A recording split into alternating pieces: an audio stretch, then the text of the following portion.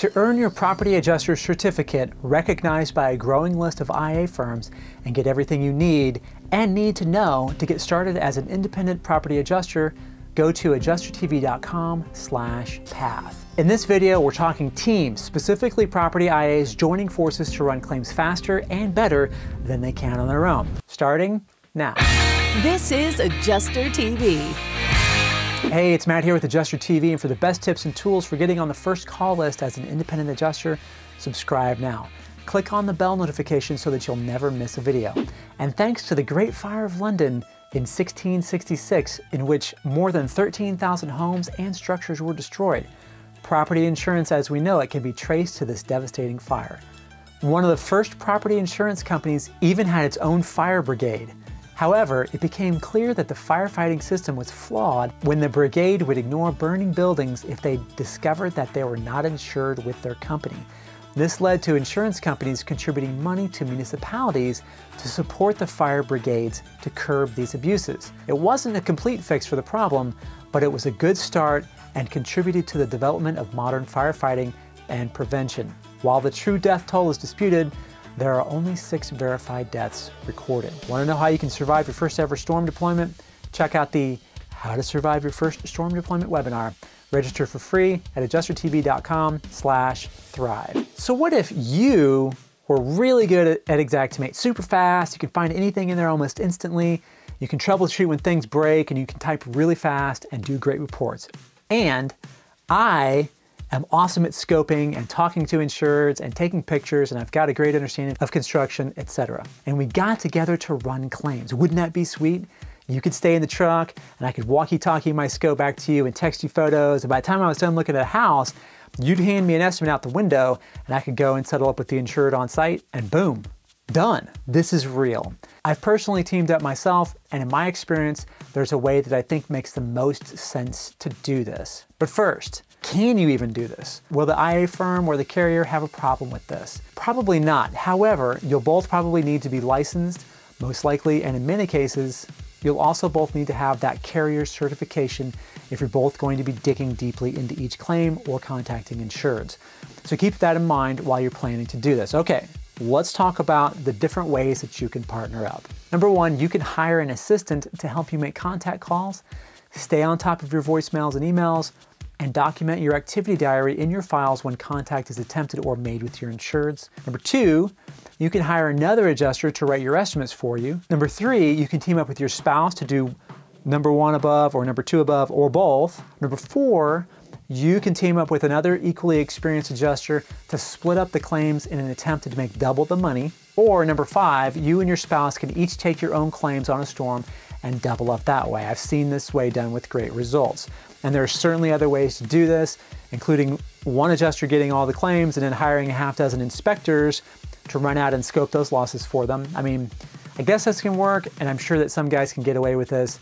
The problem I have with doing that particular thing is that you're always going to have inc inconsistent file quality and probably pretty low customer service. And those things are important to me, but if a guy is running and gunning and wants to just smash out a ton of claims in a super short period of time, maybe quality is not such, such a priority for him. If you're new to claims, you're single, or your spouse isn't into it for whatever reason, and you're asking me if teaming up with another adjuster or an assistant is worth it, and if so, how to do it, let me give you some advice, okay? Run claims on your own first for at least a couple of cats, maybe two or three. That way you can learn the ropes, you can learn how you like to make your contacts, how you like to write your estimates, what your own expectations are for getting through your workflow, and then build out a system for yourself. Look for places in your workflow where you find yourself saying, man, if I could just have somebody do this part of the work, I could get so much more done during the day. Believe me, you're going to find plenty of places like that in your workflow. Then take the system that you've developed and bring in an assistant to help you on those parts of your workflow that you feel will move the needle the most for you. That is, that will help you to close the most claims. Let me save you the months of figuring this one out. You're gonna wanna hire an assistant who can route and schedule your claims, make your contact calls to set appointments, hence needing to be licensed and certified, Document your file with those contacts and appointments, check your voicemail and call people back to confirm appointments, etc.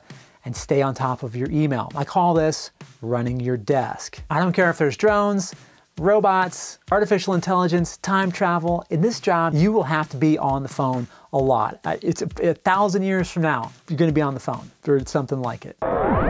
In my 20 years of doing this, nothing moves the needle more than handing off as much of this phone work as possible to somebody else. But Matt, if my assistant is talking to an insured and the insured has a coverage question, won't they? Da, da, da, you shouldn't talk in depth about coverage with insureds before you get a chance to look at their house. Even if you're making your own initial contact calls, you're gonna say something like, I wouldn't wanna say yes or no about coverage for your claim without looking at it directly and then reviewing your policy. Because you wouldn't, okay? It's not fair to the insured to have your mind made up before you have a chance to inspect. And not only that, you might as well throw your customer service rating off a bridge for all the good that's going to do you. Your assistant can ask the important questions, verify the mortgage, and do all that stuff just as well as you can. If the insured really, really wants to talk to you, your assistant can get their best contact number and you'll call them back when it's, when it's convenient for you. And if you're my assistant and we're sitting in the same room, do not hand me the, your phone and say, here, well, here he is right here. Keep making your contact calls and I'll call that insured back as soon as I can in my own schedule, in my own workflow, in my own time block, okay? So insureds are gonna have basic questions. My roof is still leaking. Can I chart my roof to stop the leak? Of course. Just be mindful that Matt will need to look at the damage directly, so be prepared to pull it back for him when you guys meet. Or can I have my contractor there? Of course, Matt prefers it, etc., etc., so on and so on, right? This is also how I suggest that spouses who want to work together get started as well. One of you probably got into becoming an IA before the other one did, so you'll likely not be at the same level of competence in running Xactimate. Whoever isn't the face of the claim should be running the desk while they get their Xactimate skills up to snuff, right? And once they're ready to write your, your estimates for you while you scope the house, they should still be running your desk, okay? Yes, this is a lot of work. At first glance, it looks like more work than just scoping losses and settling up with the insured. But you're teaming up so that you can close more claims in a day without losing any quality. So the poor sap that's got to climb all those roofs is going to be busy. Get started on your first roof at 7 a.m. and don't be climbing down your last one until the sun is going down every single day. No need for a paper day, right? Make hay while the sun shines as a team. And speaking of teams, I've said it a million times on Adjuster TV, outsourcing your desk work to an assistant will provide you with by far the greatest benefit when you're thinking of teaming up. You've seen me talk about ScheduleIt on here, and I still recommend their service for taking care of your claims routing, scheduling contacts, and claim documentation. The service is more affordable than ever right now with their new pricing model. It's one low monthly fee for unlimited contacts, okay? Go to adjustertv.com slash schedule it to, to learn more and get started with your subscription. And remember, you can use this service year round, especially if you're doing dailies in the off season. So assuming that your new assistant isn't your spouse, you're gonna have to pay them. What should you pay them? Well, that depends. If they're just running your desk like an administrative assistant, then I'd probably pay them 15 to $25 an hour, especially if they're working remotely, that is not on site with you.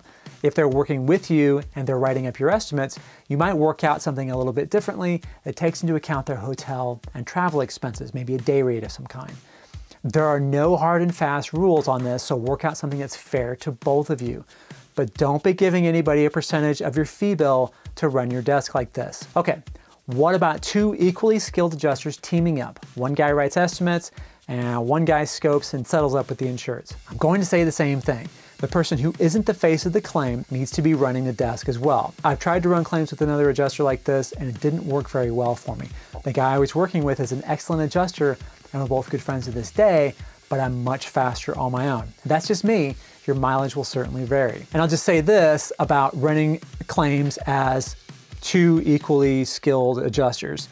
If you're both really good and on your own you're able to do six each and together you're able to do 12 and you're splitting the fee bill 50-50, you're still getting paid for the same amount of work. So I'm not sure Personally, it doesn't really make sense to me to do that unless you've got somebody who is, when you get together with them, instead of you closing 12 claims together, you're closing 20 claims together, right? So you both do six and six on your own, but together you do 20 and then you split this, uh, then absolutely 100%.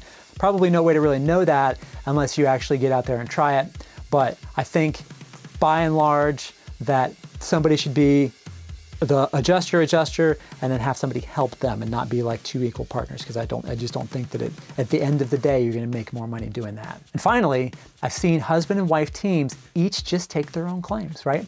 They can each run 6 or 8 claims a day and when they get home at the end of the season, they've truly doubled their money. Imagine turning in 15 claims a day for 7 months. And doing this, you and your spouse could even hire one assistant to run both of your desks. I mean, if you ask me, this is probably the way to go as a married couple for the biggest results. Question of the day Are you a husband and wife team or wannabe? Have you checked out my friend Jaz's Facebook group for only IA teams or wannabe teams? I'll leave the link in the, in the description where you're watching this video. For much more information about crushing it as an independent adjuster, head on over to adjustertv.com. If you got value from this video, you can help me create more videos just like this by subscribing to Adjuster TV on YouTube. Wondering what to watch next? There are tons more videos right here on the Adjuster TV YouTube channel. And as always, thank you so much for watching and have a great storm.